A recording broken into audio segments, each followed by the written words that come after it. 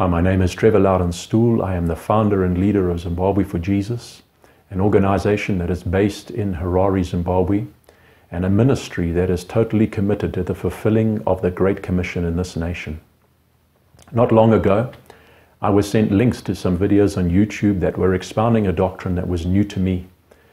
And whilst there were some wonderful Bible truths that were spoken about in these videos, and truths that blessed my heart, what concerned me was the way that these truths were being applied and the fact that many other great and fundamental truths of Scripture were being denied even as these great and wonderful truths were being expounded. And the result was a doctrine that I believe is not accurate according to Scripture and that it has the potential to be destructive with regards to the faith of God's people. And so I thought that it would be good for me just to do a series of teachings examining from Scripture the claims that are being made in these videos. We need to realize that deception always has truth in it. When Satan came to Eve way back in the garden in the very beginning, he didn't just come to Eve and just tell her a bunch of lies. He mixed in truth with those lies. And in fact, he spoke more truths than he did lies. He only gave Eve one lie and that's when he said to Eve, You will surely not die.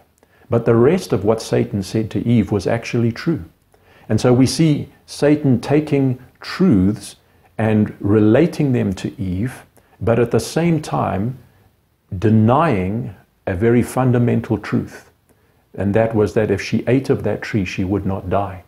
This is the way Satan deceives us even today. He takes truths from the gospel, truths from the Word of God, and he uses them to get our attention. He uses them to make us think that what is being said is good and is right. But as he's doing so, he mixes in lies that deny fundamental truths and actually lead us astray. And this is what I believe these videos and the teaching, the doctrine that is contained within these videos is actually doing. And so, what I want to do today is, as we start out on this journey, is just to examine and outline uh, the, the, the, claims, the teachings, the fundamental teachings that we, uh, I heard and found in these videos. So let me just outline them to you, and then what we're going to do is we're going to use a series of videos that will follow this one that will examine these claims, these teachings against Scripture. And I'm sure that you're going to be able to see where the lie is um, and how the truth and the lies have been mixed, to, mixed together to create uh, something that is not true, something that is not good. So let's have a look at what is being taught in these videos.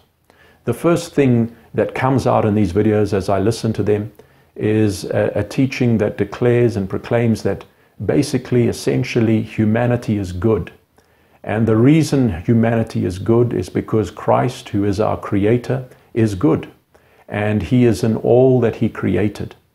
And so we as people, according to these videos, should be able to stand and look in the mirror and say, I am good. I'm good because I was created by someone who is good. They say in these videos that man's problem is simply to do with a distorted view of God and of himself that he has held. So the, the, the, great problem of man is actually a, a perception, a, a, perception. It's, it's what we have perceived about God and about ourselves. They say that sin is having a distorted view of God and not primarily breaking God's law, which is the traditional definition of what sin is. They say it is actually a distorted view of God. That's what sin is. And they say that the consequences of sin are the hardships and the misery and the chaos we experience in life. And they say that these are simply the result of our wrong belief about God's attitude towards sin and its effect on our relationship with Him. Let me expound a little bit on this so that you can understand what I'm saying. Sin, they say, does not result in any change of attitude in God towards us. So, in other words, if we sin, God is still the same. He still has the same attitude towards us, regardless of what we do. They imply that God is not angry because of our sin, and that He has never been angry because of sin, and He will never be so. And so, in saying that, they actually deny the wrath of God for sinners. They say that sin does not separate us from God. They say that the separation we feel when we have sinned is just in our minds and is not a reality as far as God is concerned. They say and teach that all humanity, regardless of whether we believe or not, are already in Christ and are therefore partakers in everything that pertains to Christ simply because he created us all. They will quote 2 Corinthians 5:14 which says that he died for all and therefore all died. And they will say that when Jesus died, all died. Or everyone in creation, every, every human being that has ever lived died when Jesus died because he is the creator of everyone. They continue to say, when he rose, all people rose. When he ascended into heaven, all people ascended because everyone, whether they believe or not, is in Christ and is united to Christ, and he represents all. They say that the whole world, both believers and unbelievers, is therefore already justified, forgiven, and made righteous simply on the, on, the, on the basis that Jesus Christ, the creator and sustainer of us all, died for us all. And they say that this is a fact. They say this is an indisputable fact that all people have been justified already, and that unbelief, all that it does is stop people experiencing it. So, what they're teaching is that all people have the same perfect relationship with God, regardless of whether they believe or not. Their only difference, according to what they are saying, is in the experience of it. They are teaching that faith has no bearing on one's standing or relationship with God. It only has a bearing on one's experience of it. In other words, it doesn't matter whether someone believes or doesn't believe, the relationship that they have in reality with God is the same. And the only difference is that those who believe will experience it, whereas those who don't believe will not experience it. They continue to say that since no one is separated from God, which is what they're teaching, or has ever been separated from God, there is no need for anyone to find a way to God. And they totally reject the idea of men seeking a way to God or of preachers telling people a way to Him. They say that is wrong because, in the very first place, no one is excluded and no one is separated. So, how can you come to someone who's already included, someone who has never been separated from God, someone who already has a relationship with God, and try and tell him a way back to God? They say that faith is not a way to God. They say that faith is simply an acceptance of the fact that we are already in relationship with God. They say that repentance is not a way to God.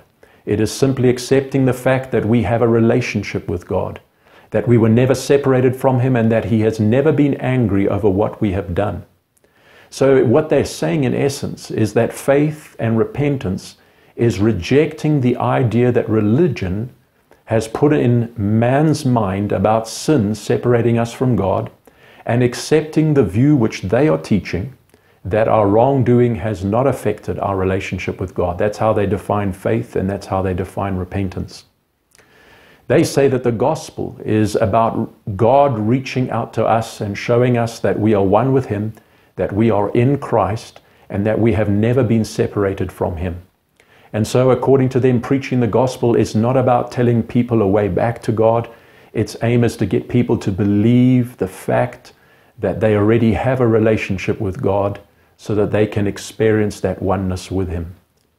They claim that the whole mission of Christ was to take away our darkness. And when they, when they say darkness, what they are defining darkness to be is our misconception about what God is like, how He thinks and feels about us, and our false belief that we have been separated from Him. So they say that Jesus came to rescue us from that darkness and to bring us into the light. And according to them, the light is a true perception of God and His love for us, and the fact that we are already in relationship with Him and have always been so.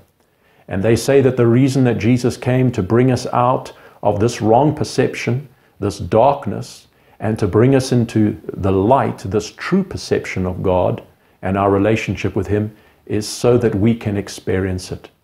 And so they say that all Jesus did was for this purpose, even including his death on the cross. They say Jesus didn't die because of the wrong things we've done. He was not punished on our behalf so that we could be forgiven for doing them. Rather, he died to give us a true perception of God and to show us what God is really like. In other words, the cross dealt more with our perception of God rather than with our disobedience to God. That's what they are teaching. They also come to the place, and this is where this teaching has to lead to, where they say heaven and hell are not literal places. They are just an ongoing extension of our experience of God and our knowledge of the facts of the gospel. In other words, what they're saying is people are in hell right now. People that do not believe or know these facts that we have a relationship with God, people that believe that they are separated from Him, are in hell right now. They don't need to go to a place to experience hell. They're already experiencing it simply because they do not have uh, an experience of a relationship, the relationship with God that they have. And they say the opposite is true of people who uh, do believe these truths, the, the, the fact that we have a relationship with God, and they are therefore experiencing it, and they are in heaven right now. So they, they deny the fact that there is a need for a heaven and a hell that is a literal place. To them, the torment of hell is not God punishing anyone, but it is simply them not experiencing a relationship with God. And to them, the blessing of heaven is not being in a place where there are no tears and where there are streets of gold, but heaven to them is simply experiencing that relationship with God. So these are the things that they teach. And uh, we want to go into these things and begin to examine them and uh, look at them in the light of Scripture. Uh, in the next uh, videos that will follow this, the series of videos that will follow this. So I leave you here today with the blessing of the Lord and look forward to seeing you again in the next session.